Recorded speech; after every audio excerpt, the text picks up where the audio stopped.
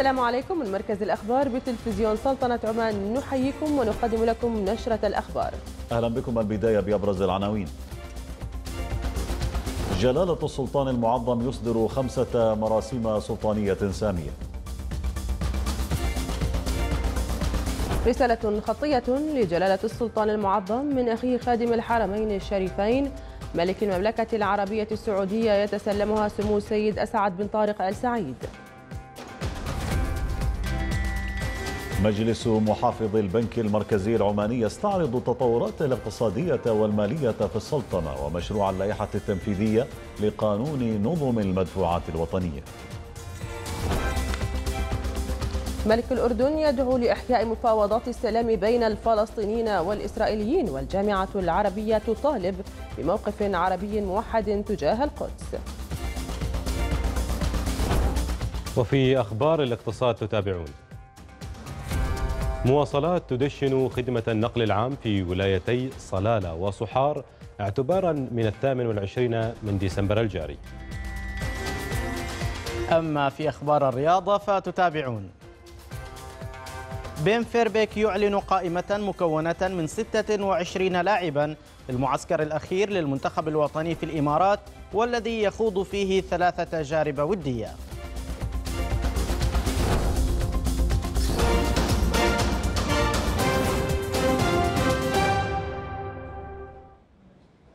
أصدر حضرة صاحب الجلالة السلطان قابوس بن سعيد المعظم حفظه الله ورعاه خمسة مراسيم سلطانية سامية فيما يلي نصوصها.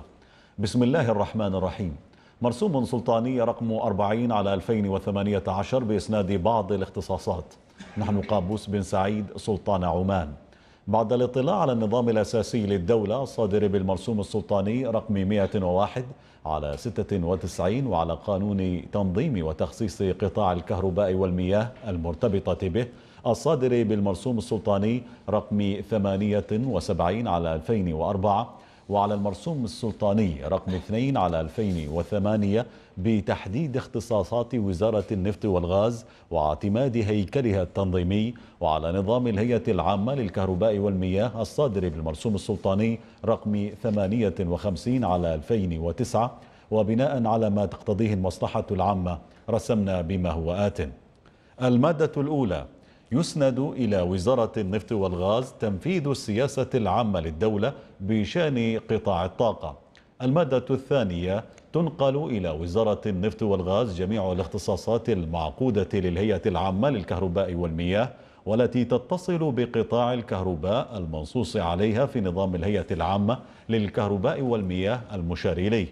كما تمارس وزارة النفط والغاز الاختصاصات المعقودة للهيئة العامة للكهرباء والمياه التي تتصل بقطاع الكهرباء المنصوص عليها في قانون تنظيم وتخصيص قطاع الكهرباء والمياه المرتبطة به. المشار إليه وأي قانون آخر. المادة الثالثة تؤول إلى وزارة النفط والغاز من الهيئة العامة للكهرباء والمياه كافة السجلات والمخصصات والموجودات المتصلة بقطاع الكهرباء كما ينقل إليها الدوائر المختصة بقطاع الكهرباء وموظفوها بذات أوضاعهم الوظيفية ودرجاتهم المالية. ويكون أعمال مقتضى الأيلولة وفقا للآلية التي يتم الاتفاق عليها بين وزير النفط والغاز ورئيس الهيئة العامة للكهرباء والمياه. المادة الرابعة يلغى كل ما يخالف هذا المرسوم أو يتعارض مع أحكامه. المادة الخامسة ينشر هذا المرسوم في الجريدة الرسمية ويعمل به من تاريخ صدوره. صدر في العاشر من ربيع الثاني سنة 1440 هجرية الموافق الثامن عشر من ديسمبر سنة 2018 ميلادية. قابوس بن سعيد سلطان عمان.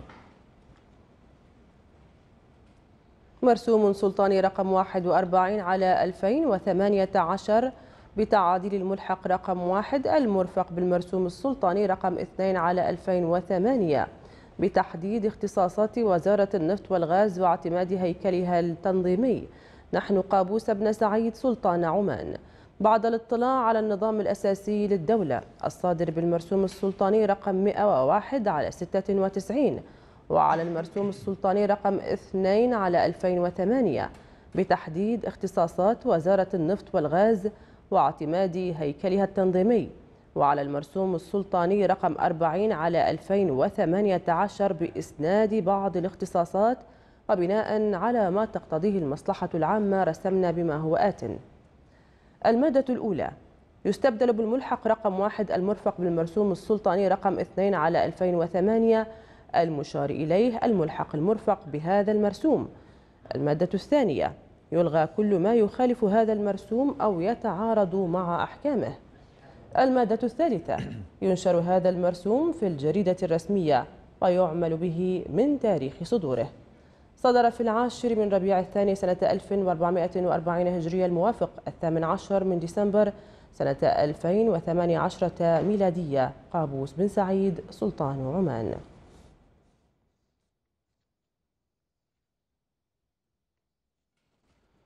مرسوم سلطاني رقم 42 على 2018 في شان الهيئة العامة للكهرباء والمياه. نحن قابوس بن سعيد سلطان عمان. بعد الاطلاع على النظام الأساسي للدولة الصادر بالمرسوم السلطاني رقم 101 على 96 وعلى قانون تنظيم وتخصيص قطاع الكهرباء والمياه المرتبطة به الصادر بالمرسوم السلطاني رقم 78 على 2004 وعلى المرسوم السلطاني رقم 92 على 2007 بإنشاء هيئة عامة للكهرباء والمياه وتعيين رئيس لها.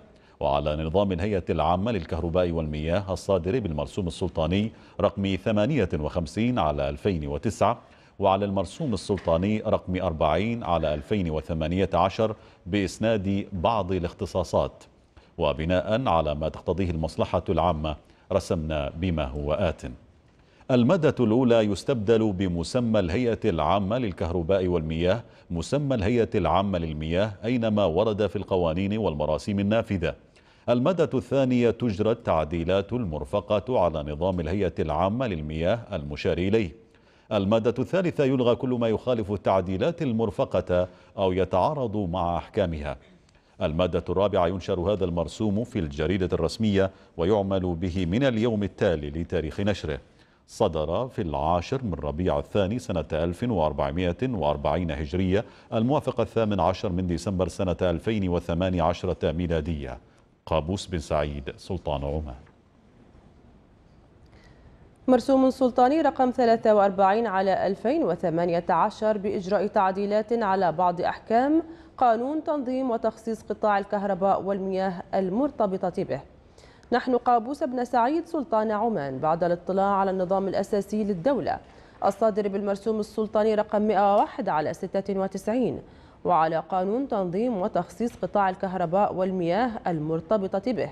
الصادر بالمرسوم السلطاني رقم 78 على 2004 وعلى المرسوم السلطاني رقم 2 على 2008 بتحديد اختصاصات وزارة النفط والغاز واعتماد هيكلها التنظيمي. وعلى نظام الهيئة العامة للمياه الصادر بالمرسوم السلطاني رقم 58 على 2009 وعلى المرسوم السلطاني رقم 40 على 2018 بإسناد بعض الاختصاصات. وبناء على ما تقتضيه المصلحة العامة رسمنا بما هو آت المادة الأولى تجرى التعديلات المرفقة على قانون تنظيم وتخصيص قطاع الكهرباء والمياه المرتبطة به المشار إليه. المادة الثانية يلغى كل ما يخالف التعديلات المرفقة أو يتعارض مع أحكامها. المادة الثالثة ينشر هذا المرسوم في الجريدة الرسمية ويعمل به من اليوم التالي لتاريخ نشره. صدر في العاشر من ربيع الثاني سنة 1440 هجرية الموافق الثامن عشر من ديسمبر سنة 2018 ميلادية. قابوس بن سعيد سلطان عمان. مرسوم سلطاني رقم 44 على 2018 بإجازة تنازل شركة Makarim Gas Development LLC عن 10% من حقوقها والتزاماتها في الاتفاقية النفطية المعدلة الموقعة بتاريخ الثامن من نوفمبر 2016 للميلاد للمنطقة رقم 61 إلى شركة PC Oman Ventures Limited. نحن قابوس بن سعيد سلطان عمان. بعد الاطلاع على النظام الأساسي للدولة الصادر بالمرسوم السلطاني رقم 101 على 96 وعلى قانون النفط والغاز الصادر بالمرسوم السلطاني رقم 8 على 2011 وعلى المرسوم السلطاني رقم 17 على 2007 بإجازة الاتفاقية النفطية بين حكومة سلطنة عمان وشركة النفط البريطانية BP Amoco Exploration Epsilon Limited للمنطقة رقم 61 وعلى المرسوم السلطاني رقم 11 على 2014 بإجازة الاتفاقية النفطية المعدلة بين حكومة سلطنة عمان وشركة النفط البريطانية BP Exploration Epsilon Limited للمنطقة رقم 61 وعلى المرسوم السلطاني رقم 14 على 2017 بإجازة الاتفاقية النفطية المعدلة بين حكومة سلطنة عمان وشركة BP Exploration Epsilon Limited وشركة مكارم Gas Development LLC للمنطقة رقم 61 وعلى مجموعة الوثائق التي قامت بموجبها شركة مكارم Gas Development LLC بالتنازل عن 10% من حقوقها والتزاماتها في الاتفاقية النفطية المعدلة الموقعة بتاريخ الثامن من نوفمبر 2016 للمنطقة رقم 61 إلى شركة PC Oman Ventures Limited القابلة لذلك التنازل. وبناء على ما تقتضيه المصلحة العامة رسمنا بما هو آتٍ. المادة الأولى إجازة تنازل شركة مكارم Gas Development LLC عن 10% من حقوقها والتزاماتها في الاتفاقية النفطية المعدلة الموقعة بتاريخ الثامن من نوفمبر 2016 للمنطقة رقم 61 إلى شركة PC Oman Ventures Limited بحيث تصبح الحصة النهائية لأطراف الاتفاقية على النحو الآتي. 60% BP Exploration Epsilon Limited 30% مكارم Gas Development LLC 10% PC Oman Ventures Limited. المادة الثانية ينشر هذا المرسوم في الجريدة الرسمية ويعمل به من تاريخ صدوره. صدر في العاشر من ربيع الثاني سنة 1440 للهجرة الموافق الثامن عشر من ديسمبر سنة 2018 ميلادية. قابوس بن سعيد سلطان عمان. تلقى حضرة صاحب الجلالة السلطان قابوس بن سعيد المعظم حفظه الله ورعاه رسالة خطية من أخيه خادم الحرمين الشريفين الملك سلمان بن عبد العزيز آل سعود ملك المملكة العربية السعودية. تتضمن دعوة جلالته لحضور المهرجان السنوي لسباق الهجن المزمع إقامته في مدينة الرياض. تسلم الرسالة نيابة عن جلالته صاحب السمو السيد أسعد بن طارق آل سعيد نائب رئيس الوزراء لشؤون العلاقات والتعاون الدولي والممثل الخاص لجلالة السلطان خلال استقبال سموه صباح اليوم سعادة عيد بن محمد الثقفي سفير المملكة العربية السعودية المعتمد لدى السلطنة بحضور أصحاب السعادة الأمين العام والمستشارين بمكتب سموه.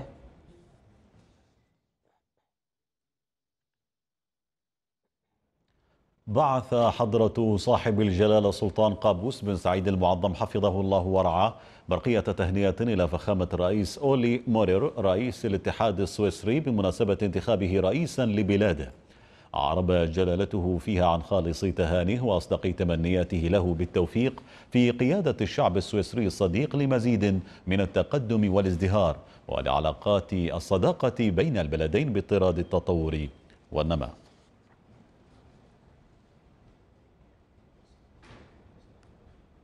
بتكليف من المقام السامي لحضرة صاحب الجلالة السلطان قابوس بن سعيد المعظم حفظه الله ورعاه. يرعى معالي الشيخ عبد الله بن محمد بن عبد الله السالمي وزير الأوقاف والشؤون الدينية غدا. حفل تكريم الفائزين بجائزة السلطان قابوس للثقافة والفنون والآداب في دورتها السابعة المخصصة للعمانيين الذي سيقام في نادي الواحات بالعذيبة. وتأتي الجائزة انطلاقا من الاهتمام السامي لجلالة السلطان المعظم حفظه الله ورعاه بالإنجاز الفكري والمعرفي وتأكيدا على الدور التاريخي لسلطنة عمان في ترسيخ الوعي الثقافي باعتباره الحلقة الأهم في سلم الرقي الحضاري للبشرية. التطورات الاقتصادية والمالية في السلطنة ومشروع اللائحة التنفيذية لقانون نظم المدفوعات الوطنية أهم ما بحثه مجلس محافظ البنك المركزي العماني خلال اجتماعه الرابع للعام الحالي. واعتمد المجلس خلال اجتماعه مشروع إطار الإنقاذ والإحلال للمؤسسات المصرفية والموازنات السنوية الخاصة بالبنك المركزي العماني للعام القادم. واطلع المجلس خلال اجتماعه على التقارير ذات العلاقة بأداء الاستمارات أو الاستثمارات الخارجية للبنك في الفترة الأخيرة. ترأس الاجتماع معالي السلطان بن سالم بن سعيد الحبسي نائب رئيس مجلس المحافظين. اطلع مكتب مجلس الدولة على التقرير السنوي لجهاز الرقابة المالية والإدارية للدولة للعام الماضي موجها باستفادة اللجان من المعلومات التي تضمنها التقرير. وفي موضوع آخر أكد معالي الدكتور يحيى بن محفوظ المنذري رئيس مجلس الدولة على أهمية دور لجان الصداقة المشتركة مع المجالس البرلمانية في الدول الشقيقة والصديقة. ونوه معالي الدكتور رئيس المجلس خلال لقائه المكرمين رؤساء لجان الصداقة بالمجلس بضرورة الاستفادة المتبادلة من البحوث والدراسات والخبرات بين المجالس والتنسيق المشترك إزاء مختلف القضايا والموضوعات في المؤتمرات والمنتديات البرلمانية الإقليمية والدولية. جرى خلال اللقاء استعراض الأفكار والرؤى حول مقترح تنظيم عمل لجان الصداقة البرلمانية التي من شأنها الإسهام في تعزيز عمل تلك اللجان.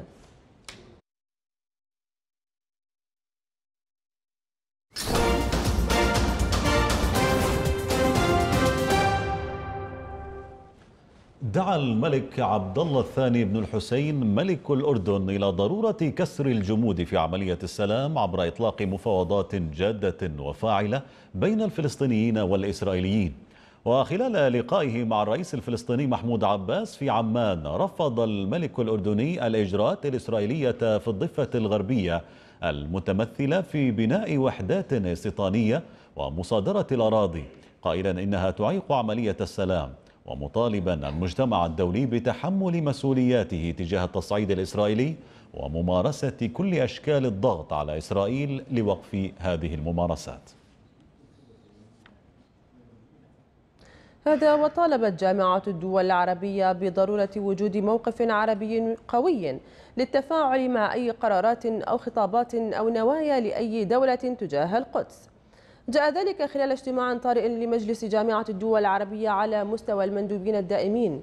شددت فيه الجامعة على ضرورة التمسك بالحقوق القومية والالتزام بالشرعية الدولية محذرة من تداعيات الاعتراف بالقدس عاصمة لإسرائيل مؤكدة على حق الشعب الفلسطيني في الاستقلال والعودة وإقامة دولة فلسطين وعاصمتها القدس الشرقية.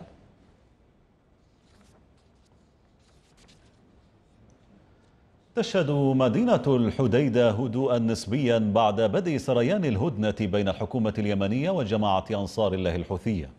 وأكدت مصادر أممية صمود الهدنة بين أطراف الصراع مضيفة أن اللجنة المشتركة المؤلفة من ممثلين عن طرفي النزاع اليمني ستبدأ عملها في مراقبة وقف إطلاق النار في المدينة الساحلية خلال الساعات المقبلة. وينص الاتفاق الذي تم التوصل إليه في المحادثات اليمنية بالسويد على إنشاء لجنة مشتركة برئاسة الأمم المتحدة لمراقبة وقف إطلاق النار في الحديدة وعملية الانسحاب من المدينة وموانئها. انطلقت في العاصمة النمساوية فيينا أعمال القمة الأوروبية الأفريقية وسط هيمنة لملف الهجرة غير الشرعية ودعا عدد من المسؤولين الأوروبيين إلى أهمية زيادة الاستثمارات الأوروبية في أفريقيا لتقليل تدفق الهجرة إلى بلدانهم. ويشارك مسؤولون من خمسين دولة في القارتين في أعمال القمة التي تناقش أيضا ملفات التنمية الاقتصادية حيث طالبت شركات أوروبية بمواجهة التمدد الصيني في القارة الأفريقية عبر زيادة المشاريع الأوروبية خاصة في مجالات التقنية الرقمية والزراعة والتجارة. هذه النشرة مستمرة من مركز الأخبار بتلفزيون سلطنة عمان وفيها بعد الفاصل. السلطنة تشارك دول العالم الاحتفال باليوم العالمي للغة العربية.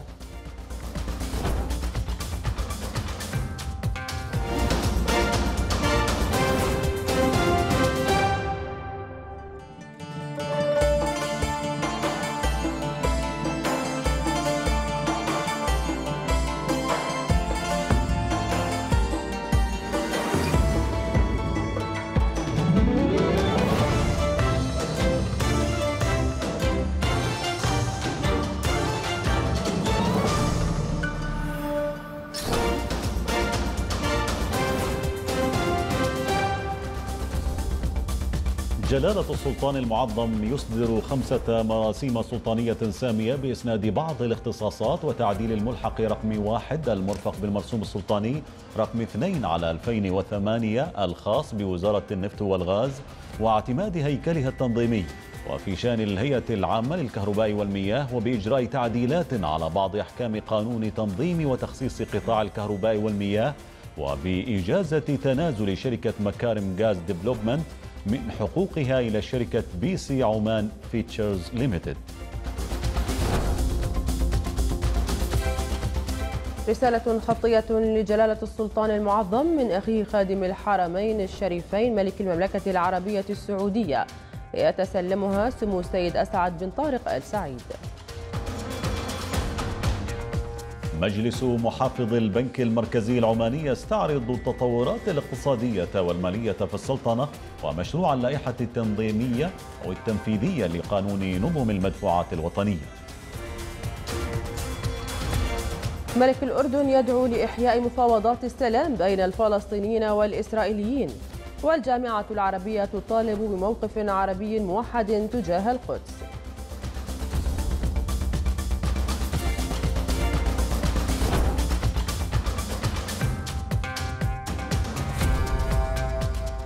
أكثر من 100 مشروع خرج بها البرنامج الوطني لتعزيز التنويع الاقتصادي تنفيذ. وأكدت وحدة دعم التنفيذ والمتابعة أن هذه المبادرات أسهمت في تقدم البيئة الاستثمارية والاقتصادية بالسلطنة. أكثر من مئة مشروع في قطاعات السياحة واللوجستيات والصناعات التحويلية خرجت بها مبادرات تعزيز التنويع الاقتصادي تنفيذ وأسهمت في تقدم البيئة الاستثمارية والاقتصادية بالسلطنة. إضافة إلى قطاعين مكملين شملا سوق العمل والتشغيل والمالية وبيئة الأعمال. القطاعات تم اختيارها استنادا على الخطة الخمسية التاسعة وهي القطاعات الاقتصادية غير النفطية الواعدة في آه، لتحقيق هدف تعزيز التنويع الاقتصادي. هناك مبادرات كثيرة في بيئة آه، بيئة الأعمال منها آه، قانون الاستثمار التي يعول عليها تعزيز الاستثمار في في السلطنة الاستثمار الأجنبي في السلطنة. وحدة دعم التنفيذ والمتابعة خصصت مختبرا لقطاع الثروة السمكية العام الماضي وقد خرج بما يزيد على تسعين مبادرة ومشروعا ستعمل على زيادة مساهمة القطاع في الناتج المحلي الإجمالي من 225 مليون ريال عماني عام 2016 إلى 781 مليون ريال عماني عام 2023 المختبرات حددت ثلاث أنشطة رئيسية الاستزراع والصيد التجاري والحرفي وكذلك التصنيع والصادرات في مجال آه، الصيد ركزنا على بعض المبادرات التي لها تأثير أعلى آه، من حيث زيادة الإنتاج والمساهمة في الناتج المحلي الإجمالي توفير فرص العمل وكذلك آه، مبادرات من القطاع الخاص. كما نظمت الوحدة مطلع العام الجاري مختبري الطاقة والتعدين حيث خرج مختبر الطاقة بعشر مبادرات من ضمنها مشاريع في مجال الطاقة البديلة ستساهم بنسبة 11% في توليد الكهرباء بحلول عام 2023 المختبرات التنفيذ طلعت بتقريبا 22 مبادرة أكثر من 18 آه، مشروع. هذا المشاريع شملت المعادن الصناعية والمعادن الفلزية. آه، في المعادن الصناعية أبرز مشروع هو مشروع آه، نحاس المضيبي في ولاية المضيبي. تم استصدار الترخيص للشركة والشركة بدأت في ممارسة الأعمال المبدئية للبدء في عملية التعدين. أما مختبر التعدين فقد خرج بأكثر من 43 مبادرة قدرت قيمتها بحوالي 813 مليون ريال عماني. سيساهم القطاع الخاص فيها بنسبة 99% هذه المبادرات الوطنية جاءت وفق توجه استراتيجي لكل قطاع من خلال زيادة الاستثمارات ومساهمته في الناتج المحلي مع توفير فرص عمل للعمانيين في هذه المشاريع التنموية. أحمد بن عبد الله الندابي محافظة مسقط. تدشين دليل تمكين المرأة العمانية وطابع بريدي ذلك بمناسبة ترأس السلطنة للمؤتمر السابع لمنظمة المرأة العربية في دورته الحالية. المؤتمر يأتي تحت شعار التمكين الاقتصادي للمرأة وتعزيز قيم السلام والعدالة والمواطنة ويستعرض تجربة السلطنة في مجال تمكين المرأة في المجالات المختلفة. رعى حفل افتتاح المؤتمر معالي الشيخ محمد بن سعيد الكلباني وزير التنمية الاجتماعية. التمكين الاقتصادي للمرأة وتعزيز قيم السلام والعدالة والمواطنة. انطلق من مسقط.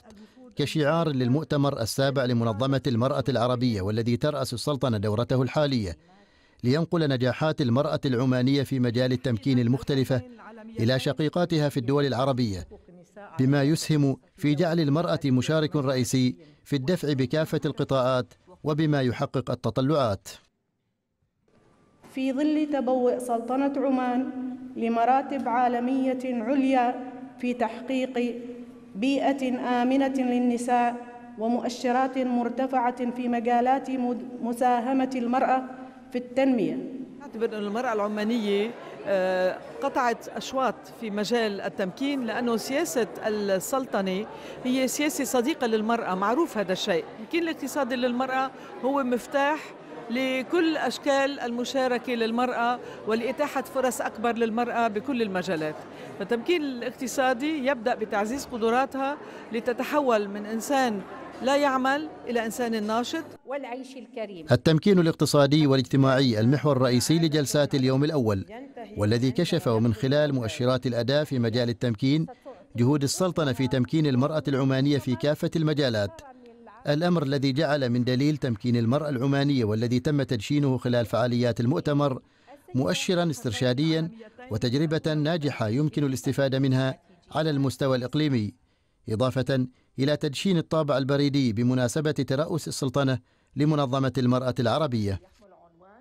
لامس اليوم الحضور والوفود التي حضرت هذا المؤتمر السابع لامسوا التجربة العمانية لامسوها اليوم بالأرقام الفعلية أنها أنها تجاوزت تلك التحديات التي كانت سابقا. الأرقام اليوم تتحدث نعم عن تقدم المرأة العمانية عن تمكينها اقتصاديا واجتماعيا. هذا الملتقى أتاح لنا فعلا أنه نلتقي عن قرب على التجربة العمانية. اطلعنا على التشاركية تشاركية المرأة جنبا إلى جنب. مع الرجل في الظروف الاقتصادية في الظروف السياسية. حتى تفاجأنا بأنه المرأة العمانية واصلة لسدة مراكز في في القطاع العسكري. تشغل تشغل مناصب عسكرية تشغل مناصب سياسية. استعراض نماذج تمكين المرأة في المجال الاقتصادي على وجه الخصوص من مختلف الدول العربية زاوية أخرى لجلسات هذا المؤتمر والذي سيتواصل على مدى يومين وهو ما يؤكد على دور السلطنة في تبني الأفكار التي تسهم في الاستفادة من الطاقات البشرية بتوجيهها لدعم كافة قطاعات الإنتاج. نموذج مباشر لتمكين المرأة العربية في مختلف المجالات. عاشته المرأة عن قرب من خلال ما استعرض من تجارب لأدوار المرأة العمانية في مختلف مجالات البناء والعطاء وفقا لمؤشرات الأداء في مجال التمكين. عبد الله بن عامر الويهي مسقط. تحتفل دولة قطر الشقيقة اليوم بيومها الوطني وسط إنجازات حضارية في مختلف مجالات التنمية. وشهدت قطر تقدما ملموسا في مختلف القطاعات الاجتماعية والاقتصادية والرياضية والسياحية عكست المرحلة الزاهية التي تعيشها.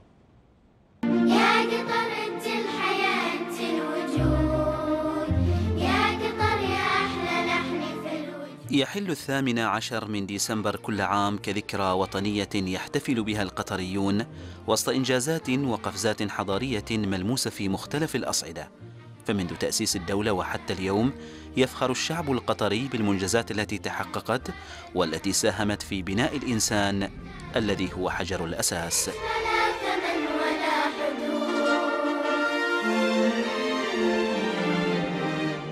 وتأتي مناسبة اليوم الوطني القطري لتبعث الفخر والاعتزاز القطريين وهم يحتفلون بعيد بلادهم تحت قيادة صاحب السمو الشيخ تميم بن حمد آل ثاني ومع تحقيق منجزات استراتيجية مدروسة.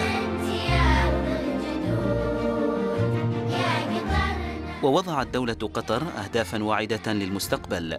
من خلال رؤيتها التنموية التي عززت مكانتها الاستثمارية والتجارية والتي استطاعت أن تكون واحدة من اقتصادات العالم التي يشار إليها بالبنان تبعا للناتج المحلي الإجمالي للفرد.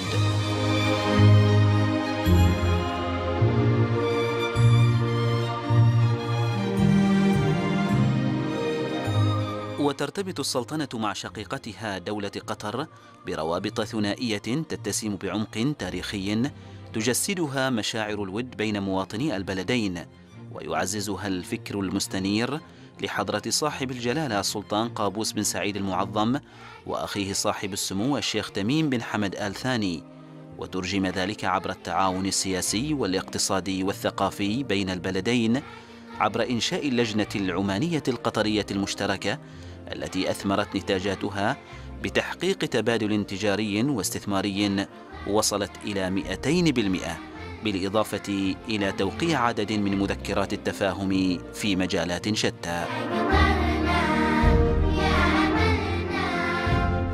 وها هي دولة قطر الشقيقة في غمرة احتفالاتها بعيدها الوطني تسير بخطوات واثقة للأمام ملبية طموحات شعبها وآمالهم نحو المزيد من التقدم والرقي. وقامت سفارة دولة قطر في السلطنة حفل استقبال بمناسبة اليوم الوطني لدولة قطر الشقيقة. حضر الحفل معالي الدكتور يحيى بن محفوظ المندري رئيس مجلس الدولة. وعدد من أصحاب المعالي وأصحاب السعادة أعضاء مجلسي الدولة والشورى بالإضافة إلى عدد من رجال الأعمال والإعلاميين ورؤساء البعثات الدبلوماسية المعتمدين لدى السلطنة. وخلال الحفل ألقى سعادة علي بن فهد الهاجري سفير دولة قطر المعتمد لدى السلطنة كلمة نشاد فيها بالعلاقات العمانية القطرية في مختلف المجالات مؤكدا أن البلدين يعملان وبشكل مستمر على تطوير التعاون المشترك بما يحقق الفائدة لشعبي البلدين الشقيقين.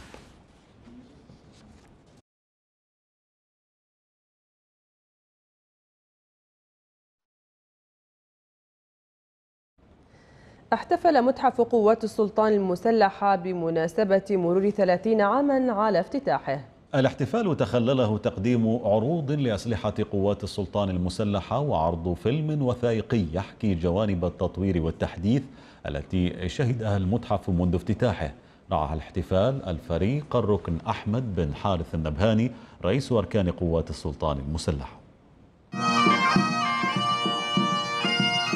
الاحتفال بمرور ثلاثين عاما على تأسيس متحف قوات السلطان المسلحة يأتي ليجسد مدى النجاح الذي حققه المتحف منذ إنشائه في عام 1988 وهو شاهد حي يروي مسيرة التاريخ العسكري العماني وأحداثه المتعاقبة عبر مختلف العصور وحتى عهد النهضة المباركة بقيادة حضرة صاحب الجلالة السلطان قابوس بن سعيد المعظم القائد الأعلى للقوات المسلحة حفظه الله ورعاه. نهني القوات السلطان المسلحة على هذه المناسبة العزيزة على عمان بوجود هذا المتحف وهو إحدى الإنجازات النهضة المباركة. خلال ثلاثين عاما منذ افتتاحه ذاكرة وطن كتاب صدر عن متحف قوات السلطان المسلحة ليحكي قصة إنشاء المتحف كما تم التوقيع على مذكرة إصدار عملة تذكارية بالتعاون مع البنك المركزي العماني وذلك احتفاء بهذه المناسبة. المتحف ومن خلال الثلاثين سنة الماضية حقق الأهداف المنشودة من إنشائه وذلك يتضح لنا من عددية زوار المتحف يقع المتحف في قلعة بيت الفلج التي بناها السيد سعيد بن سلطان عام 1845 والتي أسست لتكون صرحا عسكريا شامخا مرورا بثلاثين سنة إنما هو شرف عسكرية والجندية العمانية التي أساس الذود عن الوطن والتاريخ وتاريخ عمان حافل في كل الأمور سواء عسكريا اقتصاديا معنويا آه علميا. علماء خرجوا من هذه البلد.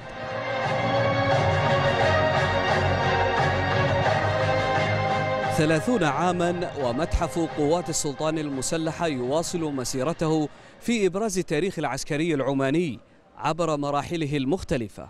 الرائد محمد بن سعيد المشيخي معسكر بيت الفلج مسقط. أقامت هندسة الكهرباء والميكانيك بالجيش السلطاني معرضا للابتكارات والاختراعات العلمية بالنادي العلمي في الجيش السلطاني العماني. ويهدف النادي العلمي إلى المساهمة في نشر الثقافة الفنية بين منتسبي قوات السلطان المسلحة واكتشاف المبتكرين ودعمهم. أقام الجيش السلطاني العماني ممثلا في هندسة الكهرباء والميكانيك معرضا للمعدات والمشاريع المختلفة ومعرضا للنادي العلمي. شمل مجموعة من الابتكارات والاختراعات العلمية. يعتبر النادي العلمي بالجيش السلطاني العماني المؤسسة العلمية العسكرية التي تعنى بالابتكار والاختراع لمنتسبي قوات السلطان المسلحة والأجهزة الأمنية الأخرى وحظي معرض هذا العام بمشاركات واسعة ومتنوعة وأفكار جديدة مثل تحديث ميدان الرماية إلكترونيا. يهدف النادي العلمي بالجيش السلطاني العماني إلى المساهمة في نشر الثقافة الفنية بين فئات منتسبي قوات السلطان المسلحة والعمل على زيادة المستوى العلمي والكفاءة لدى العسكريين من ذوي الابتكارات والمواهب العلمية والفنية في التخصصات المختلفة والمساهمة في اكتشاف أصحاب الإبداعات والإيجاد. يسعى النادي العلمي إلى الاهتمام بالمجيدين والمبتكرين وتنمية ابتكاراتهم وتنمية مواهبهم العلمية في مجال الاختراع والإبداع. كذلك يهتم النادي العلمي بدعم المبتكرين الفائزين في المسابقات التي ينظمها النادي العلمي للحصول على براءة الاختراع والوصول بهذا الاختراع إلى منتج؟ ابتكرت بحمد الله وفضله ابتكار جديد بعنوان حقيبة إسعافات أولية إلكترونية. تسعى هندسة الكهرباء والميكانيك جاهدة في تطوير الكفاءات لدى منتسبيها وإيجاد المواهب القادرة على الإبداع والتطوير من منتسبي قوات السلطان المسلحة وبث روح التنافس بينهم. وبين الدارسين في المعاهد والكليات العسكرية التقنية والفنية. الحمد لله حصلت على المركز الأول والدعم اللي حصلته كان من, من الكلية نفسها. دربونا من من السنة الأولى على الاختراعات الإلكترونية والميكانيكية ولما وصلت السنة الأخيرة طلبوا مني مشروع تخرج فابتكرت هذا هذا المشروع وشاركت فيه في في مسابقة النادي العلمي والحمد لله حصلت على المركز الأول. وهكذا يساهم النادي العلمي. بالجيش السلطاني العماني في الارتقاء بالمستويات الفنية للمبدعين وذوي المواهب الفنية والاهتمام بالمخترعين والمبتكرين العسكريين مع توفير البيئة الملائمة لتطوير إبداعاتهم وتنمية قدراتهم العلمية والفنية. وبما يساهم ذلك في خدمة هذا الوطن المعطاء الملازم أول سعيد بن سليمان السعدي معسكر المرتفعة افتتحت وزارة النقل والاتصالات اليوم جزءا من مشروع ازدواجية طريق بركة وادي المعاول نخل بمحافظة جنوب الباطنة بطول 14 كيلومترا. الجزء المفتتح من المشروع يعد إضافة لمشاريع البنية الأساسية التي ستدفع بحركة التنمية والحركة العمرانية بولايات محافظة جنوب الباطنة. سنوات طوال من الانتظار عاشها أهالي ولايتي نخل ووادي المعاول قبل أن يثمر الصبر بشرى افتتاحها 14 كيلومترا من أولى مراحل مشروع ازدواجية طريق بركة نخل الذي سيساهم في الحد من الحوادث المرورية المتكررة. نأمل بأن يتواكب مع افتتاح هذا الطريق إضافة الإنارة التي فعلا هي ستخدم سالكي هذا الطريق في الفترة المسائية. وكما يعلم الجميع بأن هذا الطريق طبعا توجد على جنباته مناطق سكنية ومناطق قد تكون فيها بعض الحيوانات السائبة. فنأمل أن يكون مواكبة لافتتاح الطريق إنارة تكون موجودة في هذا الشارع. لا شك أن له أهمية بالغة ومن تلك الأهمية يقلل على كل حال لا شك أنه يقلل من حوادث الطرق بإضافة إلى الحيوانات السائبة وغيرها من الأمور بالإضافة إلى التقاطعات التي تتسبب في عدد من الحوادث. يتضمن هذا الجزء من الطريق عدد ثلاثة تقاطعات علوية الأول عند الكيلومتر الرابع للطريق ويخدم المنطقة الصناعية بولاية وادي المعاول. أما الثاني فيقع عند الكيلومتر الثامن حيث يخدم حركة المرور لمستخدميه من مختلف ولايات جنوب الباطنة. بعد انتهاء أجزاء هذا الطريق سيكون له أهمية بالغة في انسيابية الحركة إلى ولايات المحافظة ناهيك عن توفير الراحة لعابري الطريق والدفع بالعملية الاقتصادية والتنموية في المحافظة وخصوصا في القطاع السياحي إن شاء الله. وتبلغ مسافة مشروع ازدواجية طريق بركة نخل حوالي 38 كيلومترا. يبدأ من ولاية بركة وحتى مدخل وادي مستل بولاية نخل. تضمن هذا الطريق حوالي سبع جسور لمرور السيارات وخمس دورات بالإضافة إلى سبع أنفاق لعبور المشاة. آه هذا المشروع آه افتتح من اليوم حوالي 14 كيلو متر ونأمل إن شاء الله آه أن ينتهي هذا الطريق مع نهاية العام القادم حيث وصلت نسبة الإنجاز تقريبا 65% السائق هو من يقود المركبة سواء كان في شارع مزدوج أو شارع منفرد. فالحيطة والحذر بالإضافة إلى التقيد بالسرعة القانونية ضروري جدا. ويتواصل حاليا تنفيذ الطريق بحارتين في كل اتجاه وبعرض يقارب الأربعة أمتار لكل حارة مع أكتاف إسفلتية خارجية بعرض يبلغ حوالي المترين ونصف المتر. وداخلية يزيد عرضها عن المتر إضافة إلى جزيرة وسطية بعرض أربعة أمتار ونصف المتر. تكمن أهمية هذه المرحلة الأولى من ازدواجية هذا الطريق. باعتبارها تمر بالعديد من المنشآت الصناعية والتجارية والسكنية حيث ستوفر رافدا اقتصاديا وتجاريا حيويا لمختلف ولايات جنوب الباطنة. سيب بن خلفان الكندي من بداية مشروع ازدواجية طريق بركة نخل بمحافظة جنوب الباطنة. إلى الأخبار الاقتصادية مع الزميل خالد بن سعيد العبري إليك خالد.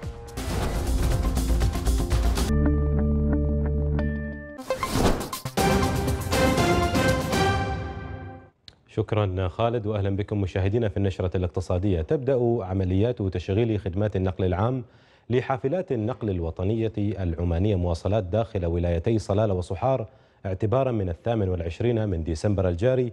شبكة الخطوط الجديدة ستخدم الموانئ والمطارات والمؤسسات التعليمية والصحية تنفيذا لاستراتيجية خطط النقل العام في السلطنة.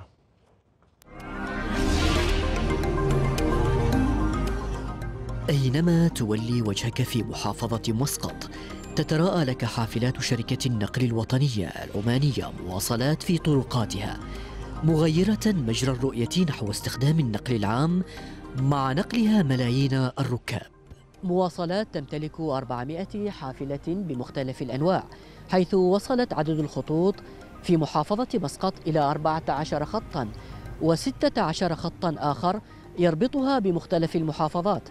حيث من المتوقع أن يصل عدد الركاب بنهاية عام 2018 إلى أكثر من خمسة ملايين ونصف المليون راكب.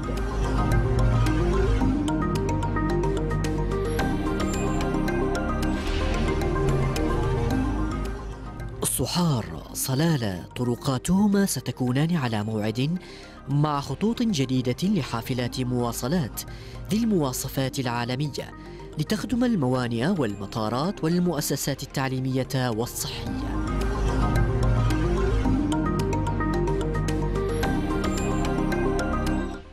هنا ولاية صحار حيث سيتم تدشين خطوط داخلية تمر بأهم الأمكنة التي تخدم السكان وذلك تحقيقا لاستراتيجية خطة النقل العام في السلطنة.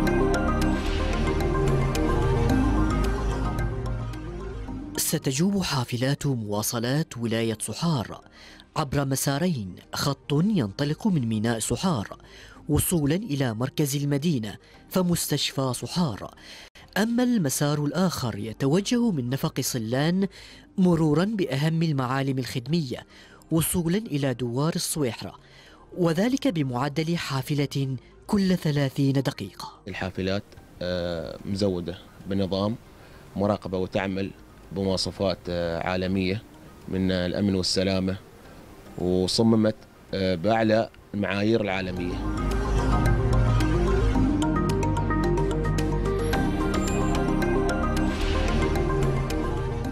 هنا أرض اللبان تحديدا مدينة صلال الحالمة حيث مطارها الذي ستنطلق منه رحلات حافلات مواصلات. مرة بحرم جامعة ظفار ومراكز الخدمات الرئيسية الأخرى مستكملة طريقها إلى شارع الثالث والعشرين من يوليو وبرج النهضة حتى الوصول إلى ميناء صلالة المسجل أعلى نسبة نمو عالمياً.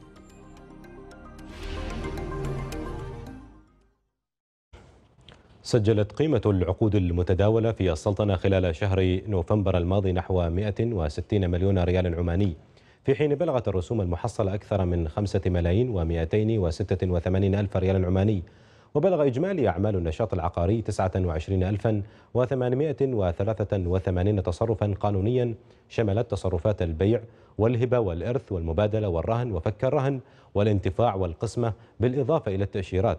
وأوضحت وزارة الإسكان بأن محافظة شمال الباطنة حققت أعلى التداولات العقارية في عقود البيع والهبات والإرث والتأشيرات والقسمة على مستوى المحافظات فيما جاءت محافظة مسقط الأعلى في عقود الرهن وفك الرهن وعدد الملكيات الصادرة. بلغ إجمالي قيمة الأذون المخصصة لإصدار رقم 482 من أذون الخزانة الحكومية 31 مليونا و570 ألف ريال عماني تستحق لمدة 71 يوما اعتبارا من يوم غد الأربعاء وحتى العشرين من شهر مارس 2019 وذكر بيان صادر عن البنك المركزي العماني أن متوسط السعر المقبول بلغ 99 ريالا و421 بيسة لكل 100 ريال عماني. في حين وصل أقل سعر مقبول 99 ريالا و420 بيسة لكل 100 ريال عماني. وأشار البيان إلى أن سعر الفائدة على عمليات إعادة الشراء مع البنك المركزي العماني الريبو على هذه الأذون هو 2.9% للفترة من الثامن عشر وحتى الرابع والعشرين من شهر ديسمبر الجاري.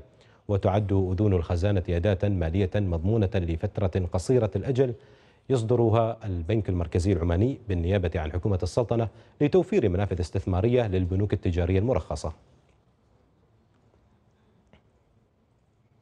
حصدت وزارة السياحة جائزة عالم الاقتصاد والأعمال الإجادة في دعم المؤسسات الصغيرة والمتوسطة في القطاع السياحي والتي منحتها مجلة عالم الاقتصاد والأعمال. وذلك على هامش أعمال الدورة السادسة من منتدى عمان. ويأتي فوز الوزارة نظرا لمساهمتها في دعم نمو قطاع المؤسسات الصغيرة والمتوسطة في السلطنة وتوفير التسهيلات للقطاع لتمكين حصوله على المشاريع السياحية ودعم المبادرات الجديدة والمبتكرة في القطاع. وتتيح الوزارة الفرصة للمؤسسات السياحية الصغيرة والمتوسطة لترويج منتجاتها وخدماتها في معارض السفر والسياحة العالمية التي تشارك بها وزارة السياحة والتي تعمل على تمكين رواد الأعمال في القطاع السياحي. انتهت النشرة الاقتصادية وشكرا لكرام المتابعة.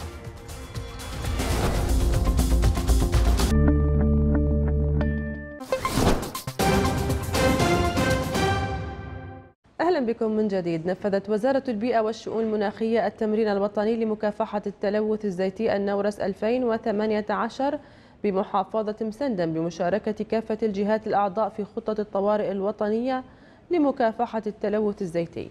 التمرين يأتي ضمن جهود حماية البيئة العمانية وصونها من أي تأثيرات سلبية ناجمة عن الأنشطة الملاحية والتجارية كحوادث التلوث النفطي من السفن ومن المنشآت الساحلية. منصة ضخ النفط من محطة مسندم للغاز تشهد تسربا للزيت من أحد أنابيب الضخ. بقعة من الزيت تطفو على سطح البحر. وفي الجانب الآخر يتلقى فريق إدارة الحوادث بشركة النفط العمانية للاستكشاف والإنتاج في المحطة بلاغا بالحادث يتحرك بشكل سريع للوقوف على التسرب والخروج بالتقرير المبدئي. نحن في محافظة مسندم آه، نقوم بتمرين آه، بمعية الجهات المعنية في خطة الطوارئ لمكافحة التلوث بالزيت للوقوف على آه، نقاط الضعف ونقاط القوة وجاهزية هذه الجهات في احتواء هكذا آه، حوادث.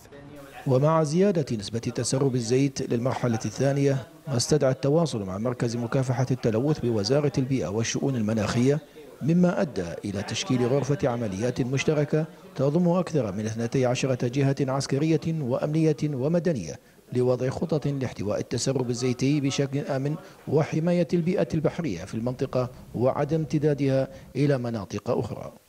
يعنى مركز الأمن البحري بإدارة وقيادة عمليات الأمن البحري ضد التهديدات الأمنية القائمة في البحر الإقليمي والمنطقة الاقتصادية. الخالصة حيث يقوم مركز الأمن البحري بالمشاركة في تمرين مكافحة التلوث النورس 2018 بالتنسيق مع الجهات العسكرية والأمنية والمدنية. ذات الاختصاص ومواصلة لخطة التدريب لجميع الجهات المعنية بمكافحة التلوث البحري. للوصول إلى الجاهزية المطلوبة للتعامل مع أي تلوث في المستقبل. جاء تمرين نورس 2018 ليحقق مجموعة من الأهداف المهمة لشركة النفط العمانية للاستكشاف والإنتاج. وأحد أهم هذه الأهداف هو آه، تفعيل وقياس جاهزية آه، الشركة بشكل عام ومحطة مسندم لمعالجة الغ- الغاز بشكل خاص في التعامل مع حالات التلوث الزيتي. بعد جهود استمرت لعدة ساعات تمت السيطرة على التسرب وسحب بقعة الزيت إلى أحد الشواطئ القريبة ليتم التعامل معها بشكل آمن. ومع انتهاء العملية ينتهي تمرين مكافحة التلوث الزيتي النورس 2018 والذي أوضح مدى جاهزية الجهات المعنية في التعامل مع هذه الحوادث المتوقعة في المنطقة التي تشهد حركة مكثفة لناقلات النفط عبر مضيق هرمز والذي تطل عليه المحافظة. يأتي هذا التمرين لقياس استعداد وزارة البيئة والشؤون المناخية ومدى جاهزية واستعداد الجهات الأخرى ذات الصلة لمكافحة أي أخطار قادمة سواء على مستوى المحافظة أو على مستوى السلطنة بشكل عام. من ولاية بخا محافظة مسندم نجم بن عبد الله الشحي أخبار الرياضة مع الزميل عبد العزيز الوهيبي.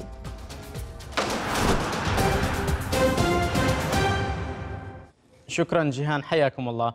حسم الهولندي بن فيربيك مدرب منتخبنا الوطني الأول لكرة القدم قائمة الفريق المشاركة في معسكر أبو ظبي الأخير قبل الدخول في معترك نهائيات كأس آسيا 2019 بالإمارات. وضمت القائمة 26 لاعبا للمشاركة والتجربة في المعسكر الأخير قبل أن يعمل على استبعاد ثلاثة لاعبين من أجل اختيار القائمة الأساسية التي ستشارك بالبطولة والمكونة من 23 لاعبا. الجدير بالذكر أن الجهاز الفني للمنتخب قام باستبعاد سبعة لاعبين كانوا قد شاركوا في المعسكر الأخير الذي أقيم في مسقط وأبرز الأسماء التي تم استبعادها عيد الفارسي وعلي سالم وحاتم الرشدي وناصر الشملي أطلق الاتحاد العماني لكرة القدم حملة دعم ومؤازرة للمنتخب الوطني الأول لكرة القدم تحت شعار سوية للآسيوية. وسوف تغادر بعثة المنتخب إلى الإمارات في الثاني والعشرين من ديسمبر الجاري لإقامة خطة الإعداد الأخيرة قبل الاستحقاق الآسيوي حيث يلعب المنتخب ثلاث تجارب ودية. الأولى أمام الهند في السابع والعشرين من ديسمبر الجاري ويلاقي في الثانية منتخب أستراليا في الثلاثين من الشهر ذاته ويختتم التجارب الودية أمام منتخب تايلاند في الثاني من يناير. وبعد ذلك يبدأ المنافسات الرسمية في كأس آسيا بمواجهة منتخب أوزبكستان في التاسع من يناير وفي المباراة الثانية يلعب مع منتخب اليابان في الثالث عشر من الشهر ذاته وينهي مبارياته بدور المجموعات أمام تركمانستان في السابع عشر من يناير القادم. يعقد مجلس إدارة الاتحاد العماني لكرة القدم غدا الأربعاء اجتماعا برئاسة سالم بن سعيد الوهيبي رئيس الاتحاد وبحضور نواب الرئيس وأعضاء المجلس لمناقشة العديد من المواضيع الهامة. حيث يناقش الاجتماع الاستعدادات والتحضيرات الأخيرة للمنتخب الوطني الأول لكرة القدم قبل خوض غمار نهائيات كأس آسيا 2019 بالإمارات كما سيتم اعتماد نتائج اجتماع رئيس مجلس الإدارة مع رؤساء أندية دوري عمانتل لكرة القدم وممثليهم وسيحدد الاجتماع أيضا موعد الجمعية العمومية العادية لعام 2019 المقبلة. كشف منظمو سباق تحدي الجري الجبلي Ultra Trail Mont Blanc عن موعد إقامة النسخة الثانية من السباق وذلك في الفترة من الثامن والعشرين وحتى الثلاثين من نوفمبر من العام المقبل. جاء ذلك بعد النجاح الكبير الذي شهدته النسخة الأولى والتي انطلقت في نوفمبر الماضي من أمام حصن بيت الرديدة بنيابة بركة الموز بتنافسية عالية من قبل العدائين المشاركين. وستكون نسخة 2019 على عدة مسافات تم تصميمها لتتناسب مع قدرات شريحة أكبر من العدائين من مختلف أنحاء العالم حيث تم الكشف عن المسار الأطول والذي يبلغ 166 كيلو متر. سيكون مبنيا على المسار الأصلي لسباق النسخة الأولى مع إضافة جزء أكبر يصل إلى قمة جبل شمس. الجدير بالذكر أن السباق يسعى إلى الترويج لقطاع السياحة الرياضية وتشجيع الاستثمار في السلطنة.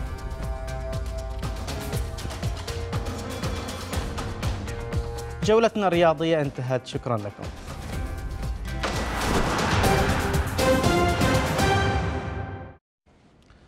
تشارك السلطنة دول العالم الاحتفال باليوم العالمي للغة العربية الذي يصادف الثامن عشر من ديسمبر من كل عام. جامعة السلطان قابوس نظمت مناشط وفعاليات احتفاء بهذا اليوم منها افتتاح معرض يوضح ارتباط اللغة العربية باللغات الأخرى.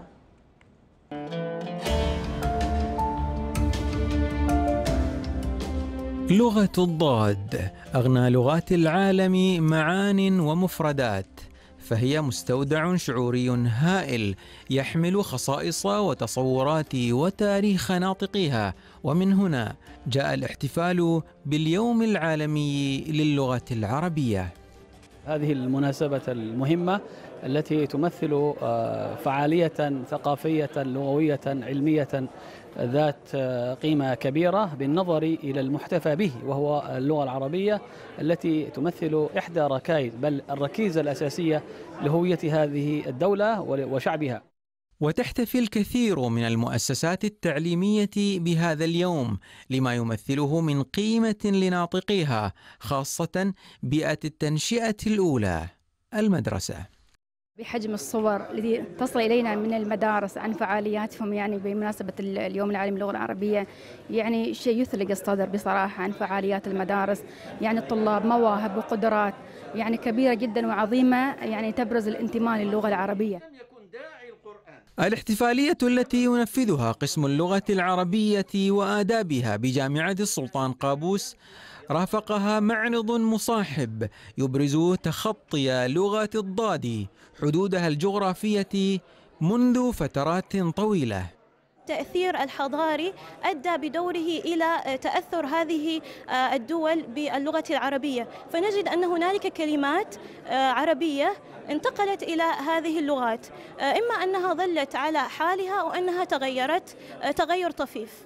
تسليط هالة الضوء على اللغة العربية متمثلا في هذا الاحتفال الذي تقيمه الجامعة له انعكاس يعني مميز وكبير جدا وخاصة للثقافات الأخرى العالمية. يعني الثقافات الأخرى العالمية لها أيامها الخاصة. فكذلك وجود اللغة العربية بهذا اليوم المميز يتعرف عليه العالم الآخر.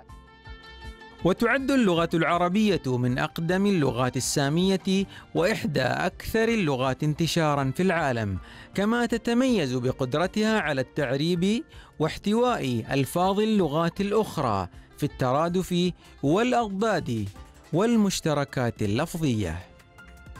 تقاس كل حضارة بما لديها من أشياء تحمل صفة العالمية، واللغة العربية تعد أبرز اللغات التي تحمل صفة العالمية. من جامعة السلطان قابوس يعقوب بن يوسف البلوشي.